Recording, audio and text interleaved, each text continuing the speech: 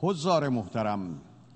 من از کشوری می آیم که از یک سال و نیم پیش در برابر بیرحمانه ترین تروریسم اقتصادی ایستادگی کرده و از حق استقلال و توسعه علمی و فناوری خود دفاع کرده است. دولت آمریکا با اعمال تحریم های فرامرزی و تهدید دیگر ملت ها تلاش کرده ایران را از مزایای حضور در اقتصاد جهانی محروم کند و با سوء استفاده از نظام بانکی به راهزنی بین المللی دست زده است.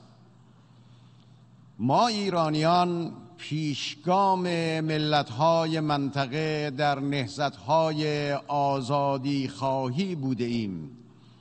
و همواره برای خود و همسایگانمان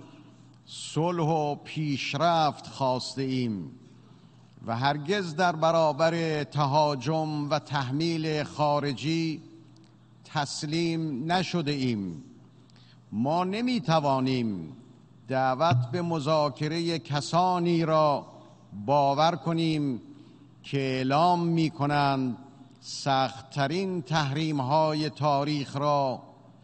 علیه کرامت و معیشت ملتمان اعمال کردند